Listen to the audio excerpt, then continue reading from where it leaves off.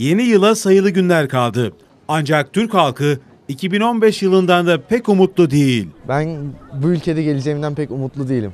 Avrupa Birliği'nin kamuoyu araştırmalarından sorumlu birimi Eurobarometer'ın Türkiye'de yaptığı çalışma, Türk halkının içinde bulunduğu karamsarlığı gözler önüne serdi. Daha da kötümser olduk çünkü yaşam şartlarımız emekliye verdiği yüzde üç. Kendi sağ olsun saraylarında 2000 odayla kalıyor. Yapılan araştırmaya göre geçen zaman içinde Türk halkı daha da kötümser düşünmeye başladı. En güvenilmezlerin başında ise siyasi partiler, adalet sistemi ve hükümet geliyor. Artık bunlara güvenmiyoruz. Siyasi partiler, adalet sistemi, hükümet. Adalet sistemine olan güveniniz arttı mı yoksa azaldı mı? azaldı. Bugüne kadar geldiğimiz durum ortada. Tabii ki güvenmiyorum. Ne adaleti? Adalet göremiyorum.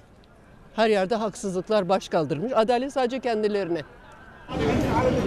Halkın en çok güvendikleri ordu, Türkiye Büyük Millet Meclisi, polis.